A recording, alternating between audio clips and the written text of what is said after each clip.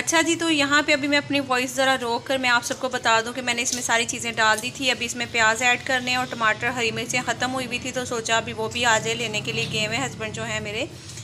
तो यहाँ पे सबसे पहले तो मैंने गोश्त ले लिया था, ये मैं बनाऊँगी भुना हुआ गोश्त जो होता है ना, मज़ेदार सा करके बनाऊँगी। यहाँ पर आप देखें कुटी हुई लाल मिर्च मैंने ली है, फिर मैंने पिसा हुआ सूखा धनिया ले लिया है और यहाँ पे हल्दी है और ये जो बीच में आपको दिख रहा है, ये थोड़ी सी ये अजवाइन है, अजवाइन का पाउडर ठीक है?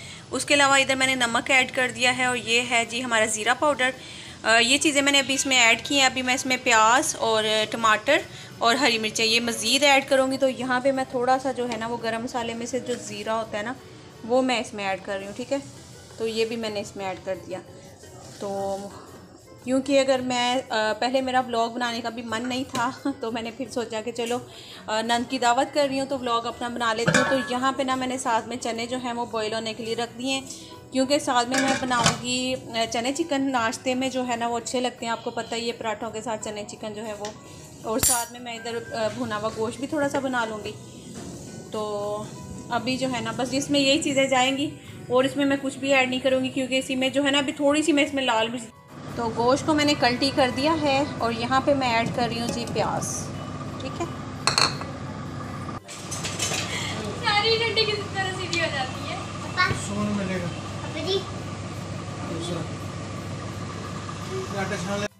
तो अभी आप देख सकते हैं कि बाहर रात का टाइम है तो अभी से जो है ना मैंने अपनी समझ लेके नाश्ते की प्रिपरेशन जो है वो स्टार्ट कर दी है। तो टाइम जो है वो हो गया जी रात के जो है ना वो पौने ग्यारह होने वाले हैं ठीक है ना? पाँच मिनट कम है। तो बस साथ साथ जो है ये सालन तैयार हो जाएँगे ना तो सुबह की समझ ले कि आधी टेंशन ख़त्म हो जाएगी। अभी आटा गूंदना है ना रमेश? हाँ अभी आटा भी जो है हमने गूंदना है और इसके अलावा और कोई काम तो नहीं है ना? सुबह ही बाकी जो होगा नाश्ते में, इंशाल्लाह वो आपके साथ शेयर करूँगी। तो टाइम हो गया जी रात के जो है ना वो सवा बारह बारह बीस होने वाले ठीक है, आप देख सकते हैं। ये देख लें बाहर भी अभी अंधेरा हो रहा है, काफ़ी ज़्यादा रात है। तो सालन जो है वो हमारा अभी इस स्टेज पे है। ठीक है? बस अभी आलमोस्ट जो है वो होने वाला है। थोड़ी सी इसकी मज़ीद जो है इसके ऊपर तरी आ जाए। और यहाँ पे मैंने जो चने रखे थे ना, वो भी हमारे गल गए मेरे हाथ जल गए तो यहाँ पे जो आटा है, वो भी जो है मैंने गूंद लिया है। अभी बस थोड़ी देर के लिए छोड़ूँगी फिर उसके बाद जो है इसको दोबारा से एक दफ़ा कून के ना तो फिर उठा दूँगी। तो बस ये काम जो है वो मैंने अभी कर लिए हैं तो बाकी जो है इन सुबह के टाइम करेंगे। आ, बाकी का जो काम होगा पराठे बनाऊँगी दही वगैरह मंगवा लूँगी अंडे शंडे बना लेंगे साथ में। और फिर बस। ओके जी गुड नाइट सुबह मिलूँगी आप सबसे। अल्लाह हाफिज़।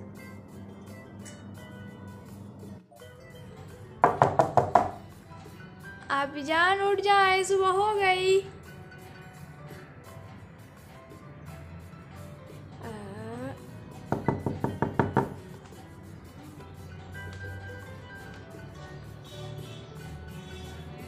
आप जन उठ जाए सुबह हो गई।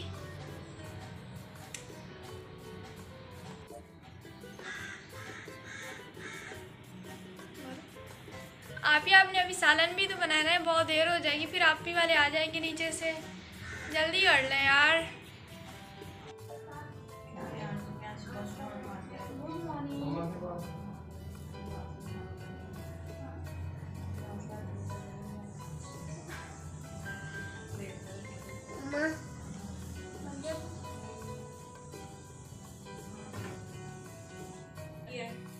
आप ही आपके उठने से पहले मैंने सैन साहब की और पौधों को पानी दिया। उसके बाद भाई ने दरवाज़ा खोल दिया था।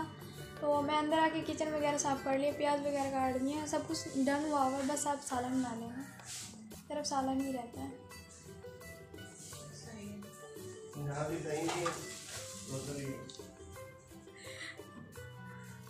तो हो गया यार अस्सलाम वालेकुम कैसे हैं आप सब? उम्मीद करती हूँ सभी अच्छे होंगे, अपने अपने घरों में हँसते और मुस्कुराते होंगे। अल्लाह पाक आप सबको हमेशा खुश रखे, हर बुरी नज़र से और हाजिन से महफूज रखें। आमीन, सुमा आमीन।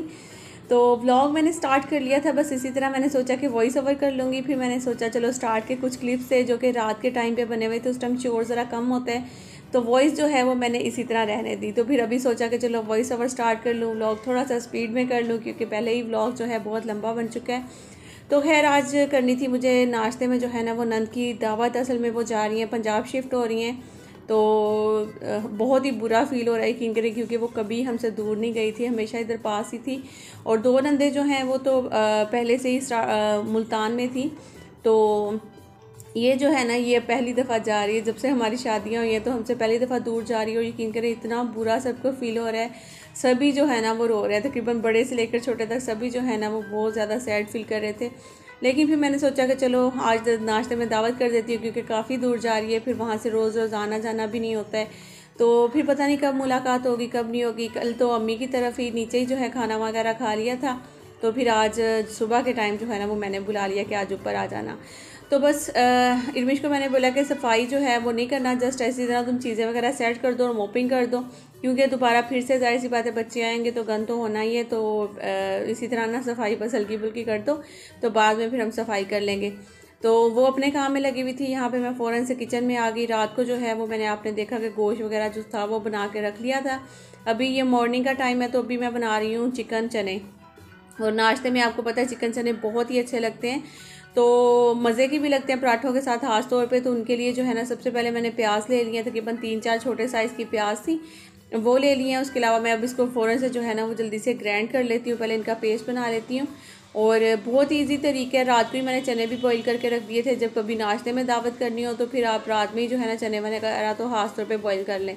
और सालन भी जो है, वो अगर रात में अगर बन जाए जो कि तो थोड़ा मुश्किल वाला ये चिकन आपको पता है, ज़रा जल्दी बन जाता है। और नाश्ता करते करते वैसे भी जो है, दस ग्यारह तो बज ही जाते हैं तो इसीलिए मैंने सोचा था कि सुबह ही बना लूँगी।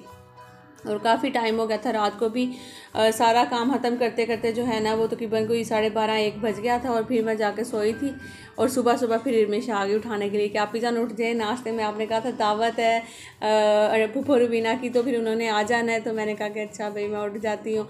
तो बस फिर मैं उठ गई थी उसके बाद आके अपने काम में लग गई हूँ तो यहाँ पे आप देख सकते हैं आप मैंने पहले ऑयल अच्छे से गर्म करना है इसका क्योंकि जो प्याज में पानी हम ऐड करते हैं ना ग्राइंड करते वक्त अगर प्याज को हम छील कर बाद एक दफ़ा वाश करते हैं, उसको आप कटिंग करते वक्त अगर पानी में डाल देते हो ना तो फिर वो जल्दी जो है ना वो ब्राउन नहीं होते। तो सेम इसी तरह जब आप पेस्ट बनाते हो, उसमें भी पानी ऐड कर देते हो तो फिर जल्दी ब्राउन नहीं होता, उसको थोड़ा टाइम लगता है। और फिर वो एक मज़ा भी नहीं आ रहा होता प्याज को जो है ना, वो एक जब पानी चला जाता है ना उसमें तो जो सूखा प्याज होता है, वो जल्दी एक तो ब्राउन भी हो जाता है, दूसरा जो है ना, बस टाइम बच जाता है हमारा। तो बस अभी मैंने प्याज जो है वहाँ पे ब्राउन होने के लिए रख दिए थे, साथ ही मैंने ले लिए कुछ टमाटर तो मैंने सोचा ये भी मैं जल्दी से जो है ना जग में डाल के साथ ही हरी मिर्चें डालकर इनको भी पेस्ट बना लेती हूँ। तो ये वाली मेरी नंद जो है जिनकी मैं आज दावत कर रही हूँ ये अम्मी की बहुत ही लाडली हैं। जैसा होता है ना हर घर में एक बच्चा जो है वो माँ का बहुत लाडला होता है। और एक बच्चा ऐसा होता है जो बाप का बहुत लाडला होता है। वैसे तो बाप जो है वो ज़ाहिर नहीं करते हैं ज़्यादातर सबसे एक जैसे ही लेकर चलते हैं। या अगर किसी से करते पे नहीं तो, तो लेकिन माँ जो है ना वो जिससे कर रही होती है ना वो साफ़ ज़ाहिर हो रहा होता है कि माँ इसका इसके साथ ज़्यादा मोहब्बत करती है। तो हर अम्मी का ना बहुत ज़्यादा प्यार था मेरी ये वाली नंद के साथ। हमें तो बाकायदा ये फ़ील हो रहा है कि जैसे आ, मेरी नंद की ना अब रुखसती हो रही है अब उसकी शादी हुई है अब वो अपने घर जा रही है। इस तरह से जो है ना वो हमें फ़ील हो रहा था क्योंकि जब से शादी हुई है जब से पास ही आना जाना हमारा लगा ही रहता था इसके पास। लेकिन बस जी जहाँ नसीब होता है वहाँ तो जाना ही है।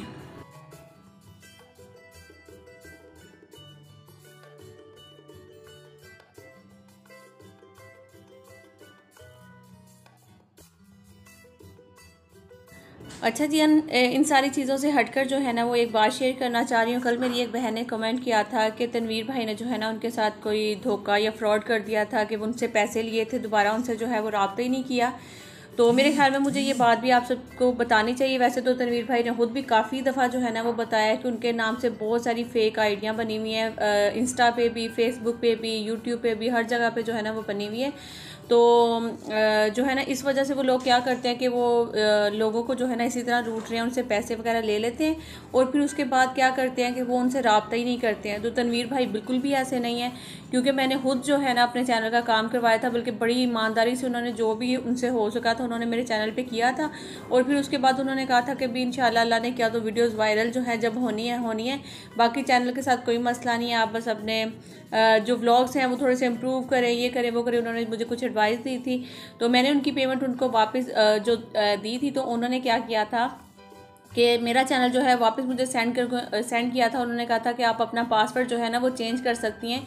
तो बल्कि मैं हंसने लगी थी कि नहीं भाई, आपका तो एक नाम है तो आप किस तरह से इस तरह करेंगे, किसी के साथ भी फ्रॉड क्योंकि ज़ाहिर सी बात है, आप अगर ऐसा करने लगे तो कोई आप पे ट्रस्ट नहीं करेगा। जिन लोगों ने काम करवाए हैं ना, आप उनसे जो वाकई में जब, सबसे पहले आप क्या किया करें कि वॉइस मैसेज पर जो है ना वो बात किया करें, ताकि आपको पता चल जाए कि वाकई में ये तनवीर भाई का ही नंबर है। क्योंकि जब आप एक दफ़ा बात कर लेंगे या उनका वॉइस मैसेज मंगवा लेंगे तो उससे जो है ना आप कंफर्म हो जाएगा आपको कि ये तनवीर भाई हैं, ठीक है ना?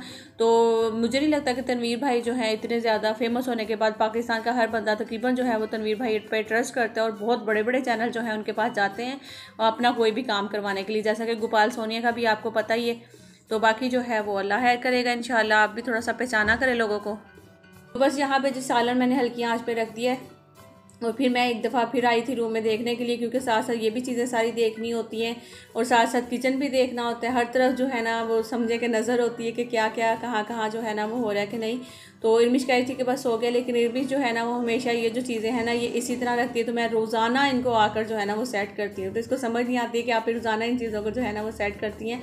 तो ये मेरा रोज़ के तकरीबन जो है ना काम होता है, जब भी ये सफ़ाई डस्टिंग करके जाती है तो ये मैं डेली इसको सेट कर देती हूँ अपनी अपनी जगह। क्योंकि मैंने अपने तरीके से रखना होता है तो रिमिश जो है वो अपने तरीके से रखती है। तो ये देखिए, अब ये दो पड़े हुए ना तो इसको मैं थोड़ा सा वो बड़े वाले को बाहर की तरफ़ निकाल दूँगी, छोटे वाला थोड़ा पीछे की तरफ़ कर दूँगी। तो इस तरह थोड़ी थोड़ी चीज़ें जो हैं, वो अपनी अपनी जगह पे अच्छे तरीके से पड़ी हुई तो एक तो नज़र भी आ रही होती है और अच्छा भी लग रहा होता है। टेढ़ी मेढ़ी सी चीज़ें पड़ी हुई हो इधर उधर पड़ी हुई हो तो वो बिल्कुल भी अच्छी नहीं लग रही होती हैं। तो इर्मिश बनी हुई थी यहाँ पे धुनी वाला बाबा तो उसने जो है ना वो स्प्रे भी इस तरह से किया जैसे वो धुनी वाले बाबे नहीं होते जो वो स्प्रे इस तरह इस तरह से हिला हिला के वो जो धुआँ सा फैला रहे होते हैं बाज़ार में अक्सर तो वही सेम तरीका इसका भी था। अभी जी इर्मिश यहाँ पे चादर बिछा देगी, थोड़ा देसी वाला माहौल जो है ना हमारा है, हम लोग जो है ना इसी तरह के हैं मतलब कि एक वो हर माहौल में एडजस्ट होने वाले लोग हैं। तो बस मैंने नीचे ही जो है ना चादर बिछा ली थी और यहाँ पे मैं एक चीज़ आपको दिखाना चाहती हूँ कि ये देखें यहाँ पे जो दो सोफ़े पड़े हुए हैं ना, एक के ऊपर जो चादर है और एक के ऊपर यहाँ पे साइड्स पे चादर नहीं है। तो वो देखें वो बिल्कुल ऐसे लग रहा है जैसे अभी भी न्यू है और ये वाला अगर गौर से आप देखें ना, थोड़ा सा उससे मैला हो गया है। तो ये अभी तो कैमरे में इतना ज़्यादा मेरे ख्याल में शायद ठीक से नहीं फ़र्क पता चल रहा, लेकिन ये जो है ना, क्योंकि इसके ऊपर चादर नहीं थी, ये चादर का जो पीस है ये कम था। और यहाँ पे देखें, ये जो दोनों है ना, ये थोड़े थोड़े मैले हो गए हैं तो मुझे इनके कवर इंशाल्लाह मंगवाने हैं जल्दी। तो जब मंगवाऊँगी तो फिर आपके साथ ज़रूर शेयर करूँगी। तो चलिए, अभी आगे का काम भी स्टार्ट करते हैं।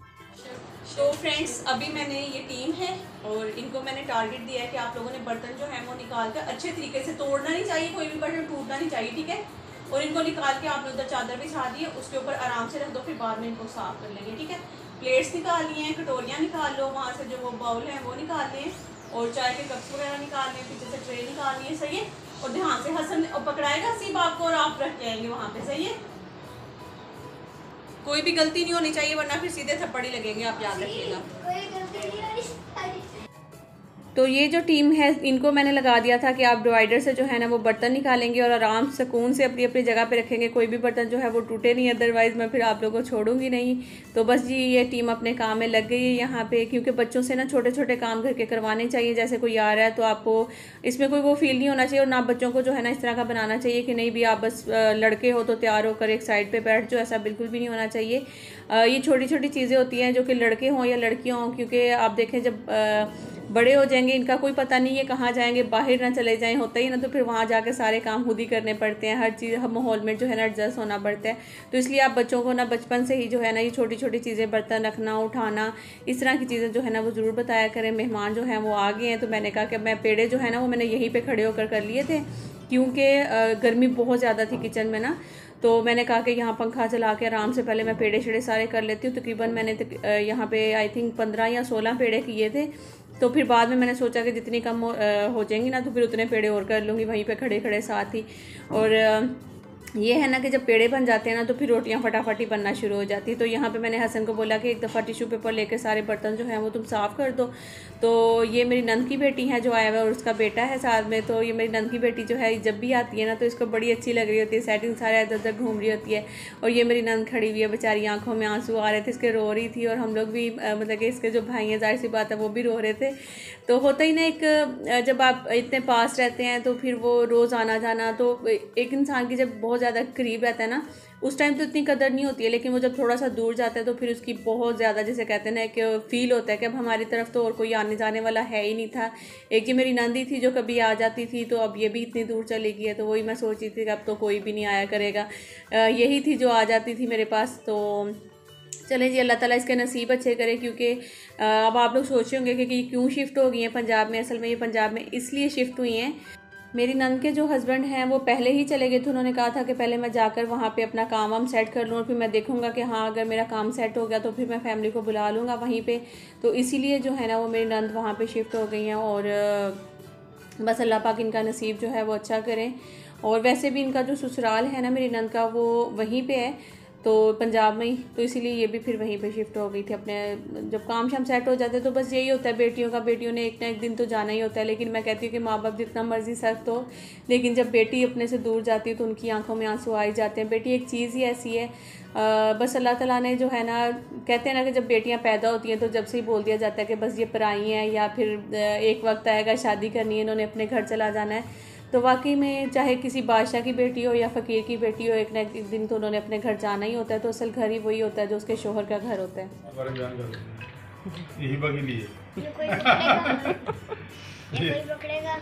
एक बंदे ने आगे हकीम कहा मेरे पेट में दर्द है। उसने कहा आपने क्या खाया? उसने कहा गोश्त खाया। वो कितना खाया? उन्होंने कहा आधा किलो खा लिया। कितना टाइम लगा? उन्होंने कहा बीस मिनट पच्चीस मिनट में मैंने खा लिया मैंने उसने फिर ये कहा कि तुम्हारे दांत जो है वो मैदे में है या मुँह में है? उसने कहा मुँह में है। उनके जो आधा किलो वो तो खा ही नहीं सकता बंदे मुँह से।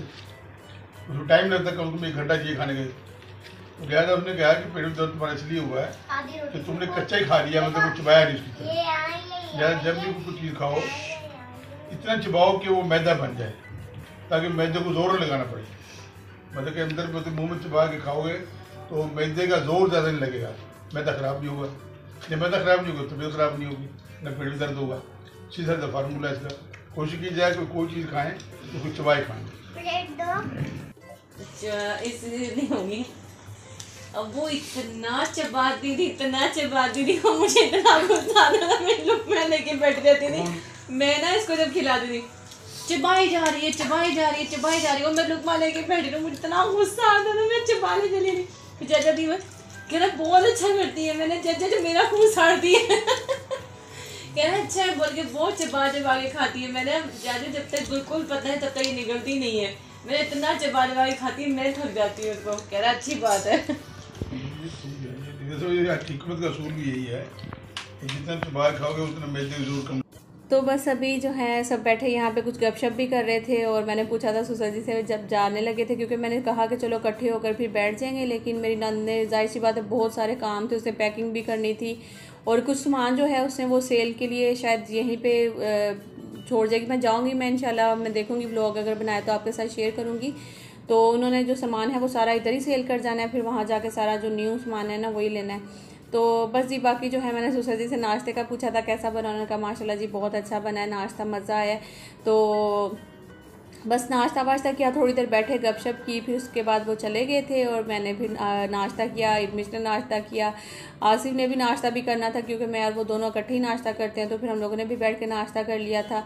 उसके बाद फिर अब करने थे घर के काम का, जैसा कि आपको पता ही दावत जब करो, चाहे नाश्ते में या डिनर में या लंच में तो फिर उसके बाद जो किचन की हालत होती है, वो ऐसी वाली होती है। बाकी जो है, रूम भी एक दफ़ा आपको दिखा देती हूँ, अंदर से चीज़ें सारी हम लोगों ने समेट ली थी। तो वो चले गए, मेहमान लाइट ऑफ़ है, क्योंकि एसी चल रहा था रूम ठंडा था। तो आई होप आज का जो मेरा छोटा सा व्लॉग है छोटा सा तो नहीं है, लेकिन आप लोगों को अच्छा लगा होगा तो लाइक जो कर दीजिएगा न्यू आएँगे सब्सक्राइब कर लीजिएगा। अल्लाह हाफिज़, अपना बहुत सारा ख्याल रखिएगा और दुआ में मुझे याद रखिएगा।